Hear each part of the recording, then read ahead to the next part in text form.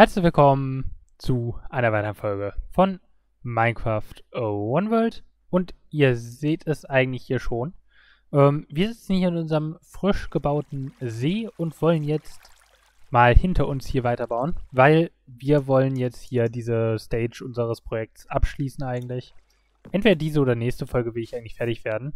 Ja, und zwar wollen wir hier in dieses große Loch hier ähm, ein bisschen was reinbauen. Ja. Ich meine, ihr seht schon, wir haben hier bisher schon angefangen, ein bisschen was anzubauen. Aber wir haben noch nicht annähernd zu Ende gebaut. Und ähm, ja, unsere Hauptbase soll hier jetzt reinkommen für dieses Projekt erstmal. Und ja, nochmal an alle, die nicht wissen, was OneWorld ist, ja. Ähm, sorry erstmal für diesen etwas unstrukturierteren Start, keine Ahnung warum. Aber ähm, für alle, die nicht wissen, was OneWorld ist, aua. Ähm, für die erkläre ich es jetzt nochmal ganz kurz. Und zwar ähm, ist hier die Sache, wir machen immer unterschiedliche Challenges sozusagen. Also hier ist jetzt die Sache, wir dürfen nur unterirdisch bleiben und ähm, außer es ist Nacht und müssen halt alles hier unterirdisch machen. Und dementsprechend bauen wir uns hier halt eine Höhlenbasis. Und wenn wir diese Höhlenbasis fertig gebaut haben oder die Challenge beendet haben oder was auch immer, dann gehen wir weiter und machen was Neues. Und das Ganze ist einfach so, weil ich gesagt habe, okay, Minecraft Let's Plays gehen immer exakt gleich, ja. Du machst immer das gleiche eigentlich, bis nach, nach der zweiten Folge schon Full ähm, Equipment, Netherite und allem. Ich will es mir ein bisschen anders angehen. Und dementsprechend habe ich gedacht, komm, machen wir es mal so. Ja, und wenn ich jetzt hier noch einen Block weitergehe, dann, ja, habe ich sozusagen die Challenge verkackt, aber egal. Ähm, auf jeden Fall ist so die Sache, wir haben das hier alles schon gebaut. Das führt jetzt aber noch zu keiner Base. Und da wir eine Base bauen wollten, ähm, ja, bauen wir jetzt auch nochmal eine Base hier unten rein. Wie gesagt, ich kann euch nicht sagen, ob wir es diese Folge schon fertig kriegen oder erst nächste Folge. Ja. Aber, ja, wir haben auch unter anderem jetzt schon in diesem Projekt eine Burg gebaut und sowas zum Beispiel. Wir haben auch, was hatten wir noch so Schönes? Wir hatten ein Zelt ganz zu Anfang.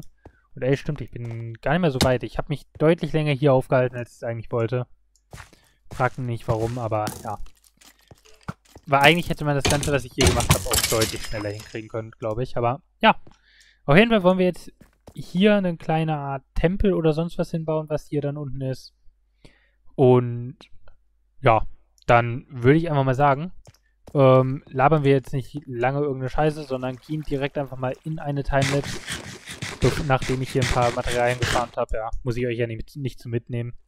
Und ich würde mal sagen, wir sehen uns nach der Timelapse wieder. Und ja, gucken uns dann mal an, was wir hier so gebaut haben. Und ja.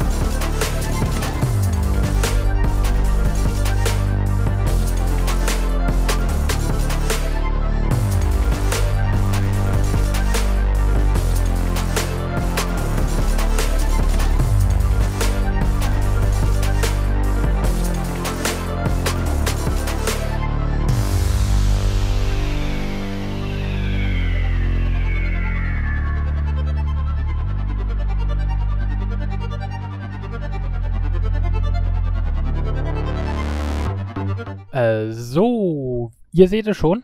Ich stehe hier jetzt an unserer Klippe wieder hier. Achso, und ich muss hier vielleicht mal wieder aufmachen. Ähm, so. Funktioniert das hier unten? Oh, scheiße. Hey, äh, weg hier.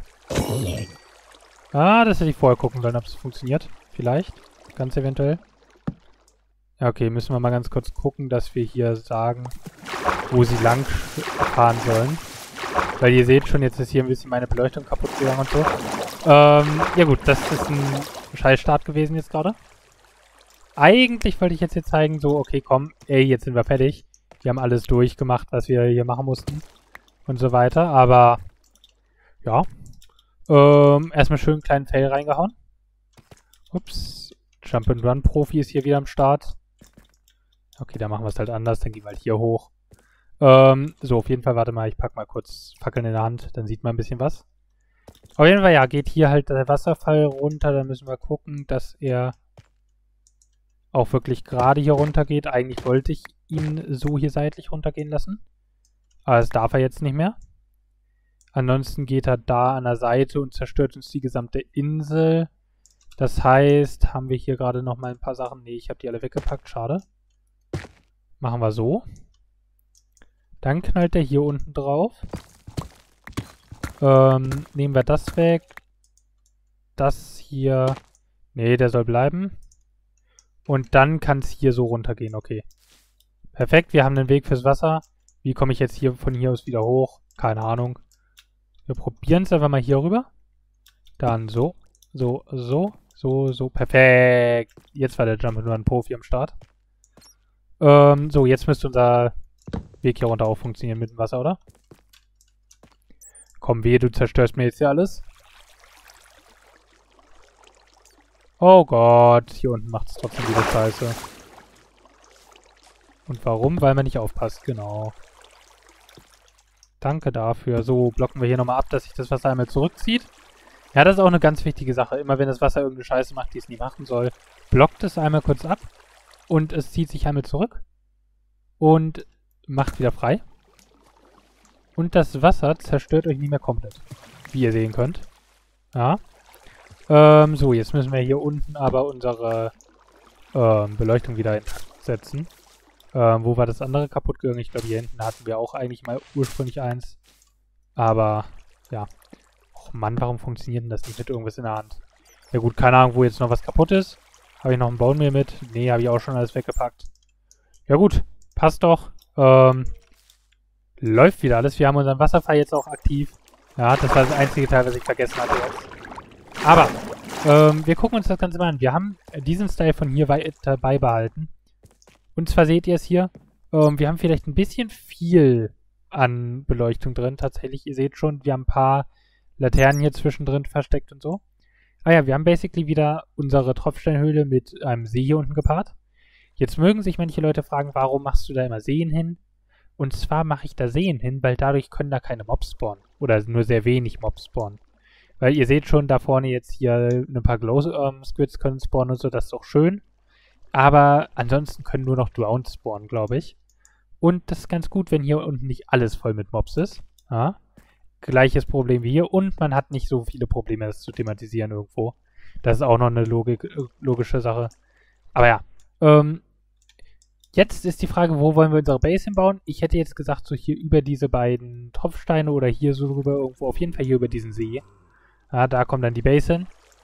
Allerdings jetzt gerade nicht mehr. Ich glaube, ich habe besser äh, genug gemacht jetzt für diese Folge. Aber ich zeige nochmal hier rum. Hier unten in der Ecke. Weil ihr glaubt nicht, wie scheiß lange es dauert, immer so ein... Upp, wo bist du? Ihr glaubt es nicht, wie scheiß lange es dauert, so ein See hier voll zu machen. Ich weiß nicht, wie schnell ich die Timelapse gemacht habe am Ende jetzt. Weil ich sie noch nicht äh, geschnitten habe natürlich, aber ja. Das wird schnell werden auf jeden Fall. Auf jeden Fall, seht ihr hier hinten, wir haben hier diesen kleinen Lavastrom ein bisschen eingebaut, dass der hier hinten reingeht. Und ganz kurz, hier können wir nochmal kurz ein bisschen Stein dran bauen. So, ähm, ja, dann ansonsten, was haben wir sonst so noch gemacht? Falls ihr euch fragt, warum dieser See so halbwegs natürlich aussieht, das liegt daran, dass ich einfach nur die vorgegebene ähm, Oberfläche nehme und dann ausfülle. Hier hinten habe ich mir dann gedacht, okay, nee, da habe ich keinen Bock mehr. Da machen wir jetzt hier so einen kleinen Fluss rein. Und habe dann hier so einen Damm reingebaut. Ja, ich weiß, der Damm ist auch langweilig wie sonst was eigentlich. Aber er macht seinen äh, Zweck hier. Dann fließt das Ganze hier runter und haut hier nach hinten ab.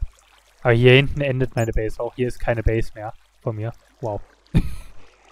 Die Fledermaus fliegt einfach in den scheiß ähm, Lavastrom. Aber wie gesagt, hier hinten ist meine Base sozusagen zu Ende, würde ich sagen. Ja, hier ist nichts mehr. Dieser Damm ist das letzte von der Base. Und ja, wenn wir hier mal durchschwimmen. Erstens, ich mag diese ähm, Farbe vom Wasser, weil wir da hinten in den Sumpf kommen. Hier vorne sind wir wieder normal im Gebirge, glaube ich. Ah ja, ihr seht schon, hier haben wir auch wirklich bis in die Tiefen der Höhle durchgemacht. Ja, alles einmal mit Wasser voll. Und ja, ein bisschen Bone Meal verschwendet. Ich habe ja genug Knochen in meiner Farm hinten. Und ja, ansonsten ist das Ganze hier dann auch soweit okay. Und eine andere Sache, die ich euch noch zeigen wollte. Ihr seht ja, hier sind keine Fackeln. Ihr habt ja auch gesehen, wie ich die Fackeln eben gerade versteckt habe. Das Ganze habe ich jetzt auch nochmal bei allen anderen Sachen gemacht. Ja. Ich will jetzt nicht sagen, dass dieser Wasserfall hauptsächlich als Aufzug genutzt wird, aber egal. Upp, wo bist du, Zombie? Keine Ahnung. Aber ja, wie gesagt, ich habe hier die Fackeln im Rest der Höhle auch nochmal versteckt. Ihr seht schon ein bisschen Teppich genommen, drüber gelegt. Sieht deutlich besser aus. Ich meine, wenn wir hier jetzt diesen Bereich angucken, oder den da hinten, ich finde, der Bereich sieht deutlich besser aus. Und da ich noch nicht weiß, ob ich hier in diesem Bereich überhaupt noch was bauen werde, ähm, ja, lassen wir das Ganze da auch erstmal so. Aber wenn wir jetzt hier schon so rüber gucken, sieht das, finde ich, genial aus wieder. Und ja, ich würde einfach mal sagen, ähm, wir sollten jetzt eine Folge haben, die halbwegs lang genug ist. Wenn ich jetzt noch anfangen würde, meine Base anzufangen und so, dann wird die Folge wieder unendlich lang lang. Machen wir lieber in der nächsten Folge, finishen die dafür wahrscheinlich dann auch direkt. Mal schauen, wie groß ich sie dann am Ende baue. Weil ich, ich wing das gerade die ganze Zeit. Ich improvisiere. Ich habe keinerlei Plan gerade. Das letzte, was ich geplant hatte, war hier oben das Tor. Und ja, ansonsten habe ich seitdem nichts wieder geplant. Und das Problem ist, ich kann jetzt auch nichts mehr planen, weil dazu muss ich jetzt erstmal wieder diese ganze Höhle scannen, muss die dann eins zu eins rüber kopieren in der Creative World, muss dann da planen. Oh, und da bist du. Muss dann eins zu eins das dann planen wieder und dann kann ich es wieder rüber äh, schieben hier. Das ist mir zu aufwendig. Da improvisiere ich lieber hier mit dem Bauen. Und ja, dann würde ich einfach mal sagen, man sieht sich in der nächsten Folge wieder, wenn wir hoffentlich hier das letzte Mal in der Höhle sind. Falls ihr Ideen für eine Challenge habt oder so, ja, wir werden wahrscheinlich irgendwas mit dem Nether machen. Dann schreibt es gerne in die Kommentare. Ja, bin offen dafür, was wir machen. Weil wir können jetzt hier Nether und so machen. Ey, stimmt, wir können das hier jetzt als Final ähm, Ending hier ein Nether-Portal oben drauf bauen in diesem Tempel, als Hauptteil, warum hier der Tempel ist. Das wäre doch eine gute Idee, glaube ich. Aber ich würde mal sagen, bis zum nächsten Mal und ciao. Vielen Dank, dass du bis zum Schluss dran geblieben bist. Oben rechts siehst du jetzt die passende Playlist zu diesem Projekt. Unten links hat YouTube ein Video passend für dich bereitgestellt. Wenn dir meine Videos gefallen, kannst du mich gerne unterstützen, indem du einen Daumen nach oben da lässt oder den Kanal abonnierst und die Glocke aktivierst, um immer über neue Videos informiert zu werden.